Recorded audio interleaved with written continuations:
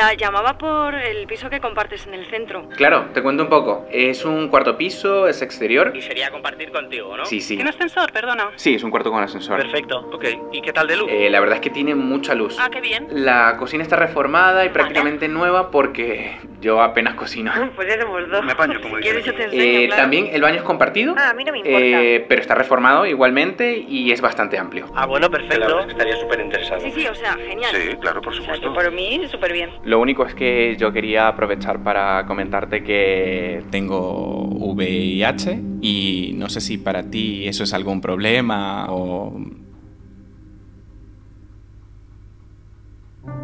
¿Cómo, perdona? Eso sí, ya ¿no? lo siento, es que tampoco tal, pero... Bueno, es te voy a tener que No colgar. voy a ir, le- lo Es siento, tengo ¿vale? una sobrina, y ¿Eso claro. sigue habiendo? Que me has pillado un poco así, pero...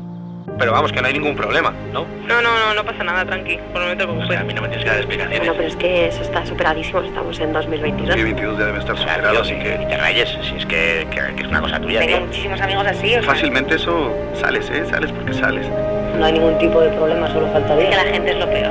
Va, yo soy súper abierto. Que a mí me da igual tu color de piel, de dónde seas. dices que ya yo es que te pago directamente. Eh, hacemos una cosa, me llamas mañana y quedamos para verlo. Vale, pues venga, mañana hablamos. Te pregunto que... Vamos hablando. Chao.